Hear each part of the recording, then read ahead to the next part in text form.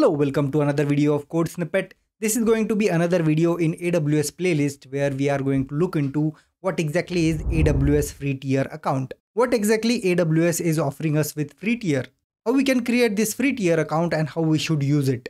This is basically the first step in your journey to learn AWS cloud. So let's get started without wasting any time. This is going to be a fun video so sit back, relax and enjoy the show.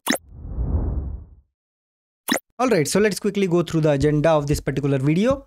So AWS free tier. So here is what we are going to do in this video. So first we will understand what exactly is AWS free tier. So if you have seen the roadmap video, we have already had a glimpse of this. I have highlighted how the free tier looks. We are going to dive deep inside that. After that, we will actually create a AWS account with free tier and we will see step by step sign up process how we can create that. After that, we will set up some billing alerts. This is very, very essential step and this is basically to avoid unexpected bills by accidents right? Because it is a free tier account right? So it is not expected to get bills from them right? By some reason if you spin up some service which you shouldn't you should immediately get alert that dude you are getting a bill right? So you can stop that. After that we will look into common mistake to avoid when you are working with aws free tier account. So this is basically the simple agenda. So let's get started. So let's talk about aws free tier. So again if you search with aws free tier account you will find this particular link. And if you go inside it it will take you to aws free tier. Let me zoom this a bit so that it's clearly visible. Now if i scroll down then it says three types of offers right? So once you create a free tier account it will give you three type of offers. It says more than 100 aws products are available on aws free tier today three different type of free offers are available depending on the product used. So the first there is something called as free trials. After that there is something called as 12 month free. And after that there are something called as always free. So let's go back over here and try to understand that. Now if you see over here we have something called as always free. That means these services are going to be free forever. For example we have lambdas. For example we have cloudwatch right? All these services are basically free and that is what they have highlighted over here when it comes to always free.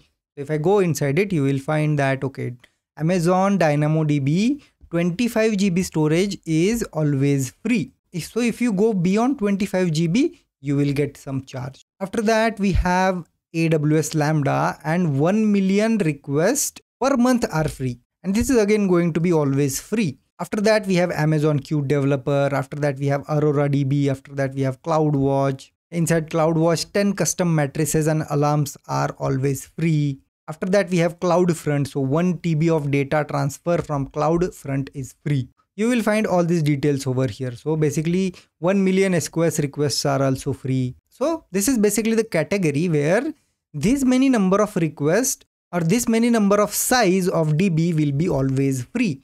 After that, you will have to pay some money. But from my experience, this storage is enough for you to learn what we are doing we are learning right? We are not creating any industry level application and deploy it and have our customers on there right? We are not going to do that. We are just going to learn it and we are going to shut down services as soon as we learn them. If we are not using we will shut down things right? We will delete the unnecessary resources. So it should not charge us a penny. After that we have something called as 12 months free. So there are few services which are only free for 12 months. If i click on this thing then you will find that that 750 hours of EC2 storage will be free per month only for 12 months. After 12 months, even if you start a EC2 instance, it will charge you money. And let me tell you, EC2 is very expensive. After that, AWS S3 5 GB of standard storage is free for 12 months. We are not going to use more than 5 GB, so don't worry.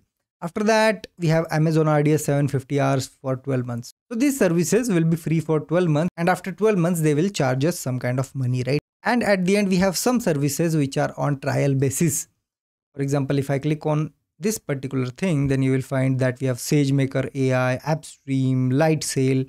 These are few advanced aws services which are available on trial basis. So if you want to try that you can get a free trial for two months. So first we will go through all the other service like compute database storage containers right? After that we will come to this one right? These are not immediately required for you to learn so first we will learn the basic stuff and then go to advanced one. So that is basically three type of services that AWS offers. Now let me go back over here. So we have seen what exactly is AWS free tier account, what they have to offer and how we can use them. After that, let's create a AWS account. So let's go back over here and let's click on create a free account. Let's go over here. So it should open a sign up page for us. It says sign up for AWS account or you have another option saying sign in to an existing AWS account. So most of us will not have any existing account, right? So what we will do, I will just add my email ID over here. There we go. So this is basically my email ID. After that, you need to select a name for your account. So for now, I will simply say code snippet and I will just click on verify my email address. So after that, they will send you a verification code. So let me quickly log into my Gmail. I've copied the verification code and I will just say verify. And they will ask us to add some password, right? What I will do, I'll quickly add some password for me. So let's go to next step. After that, what do we have over here? What do we have over here? So it will ask how do you plan to use AWS?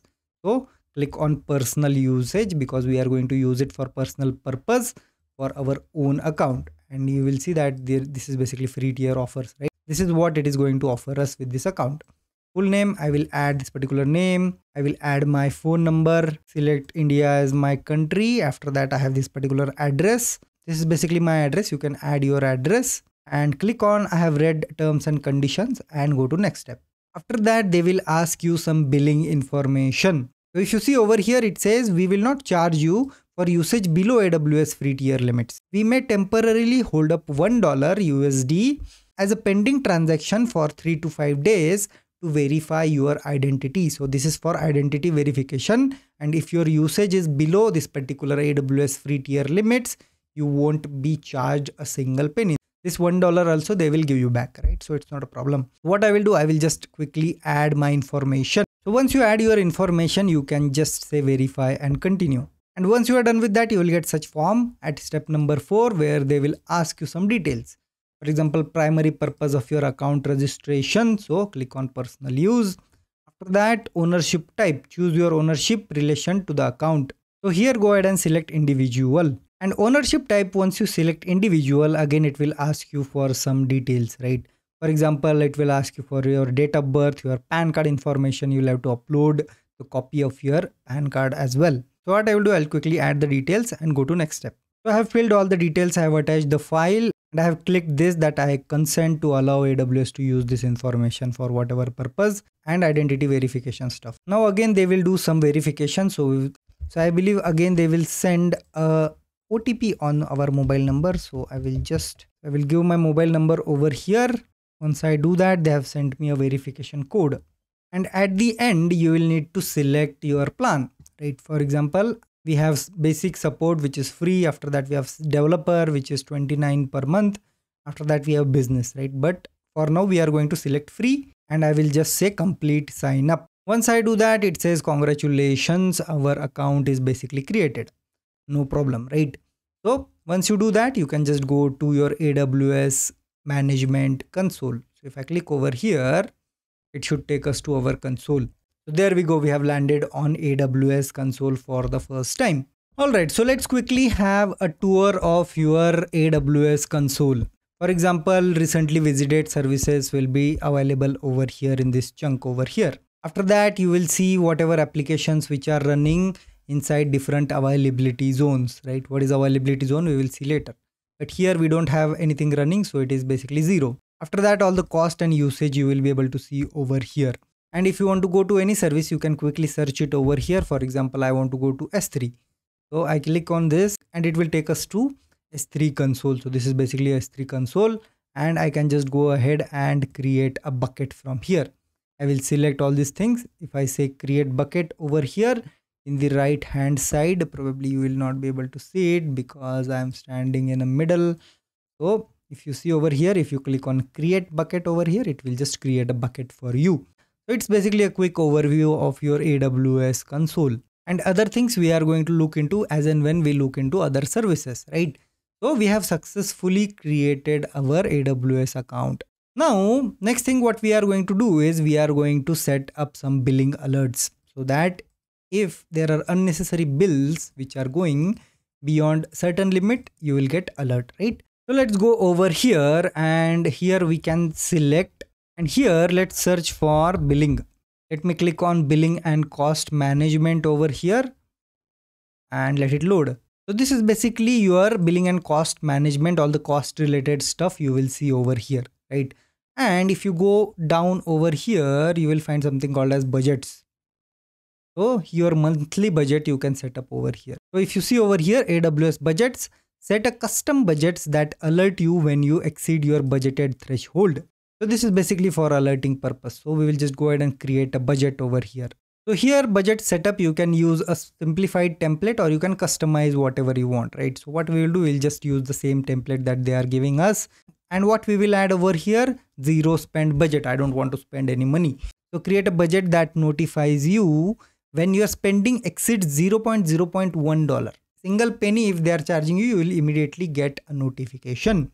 So we will keep the name as same. After that, we will add our email id so i will just add my email id over here. There we go. I have added my email id and i will simply say create a budget. So this particular budget is created right? And if i go inside it so here you will see that amount used is zero dollars. So we are not using anything now. And let me tell you this particular alert that we are creating will not charge anything right? This is basically free stuff. If i go inside it now you will see that current versus budgeted. So we have one dollar as budgeted. Current one is zero. So no alert basically. The threshold is okay. And if it goes beyond that we will get a mail on the given email id so it shouldn't be a problem anymore once we set this particular alert right? So we have created our budget as well. So no problem.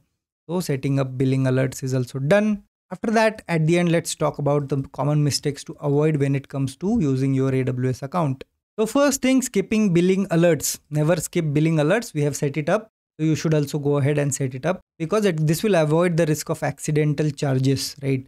Always set up the cost budget with email alerts. So we have already done that. So it's not a problem for us. Using large EC2 RDS instances. So we should always use free tier eligible types only. There are few types of EC2 and RDS instances.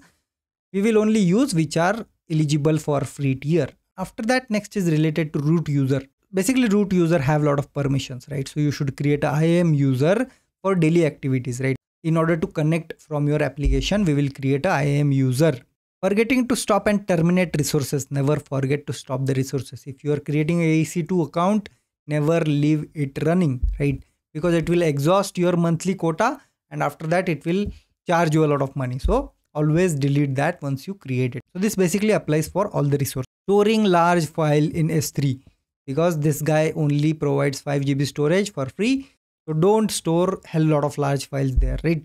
After that we have missing activation email. So once your account is ready you will get an email. For example if i go over here i should have received an email.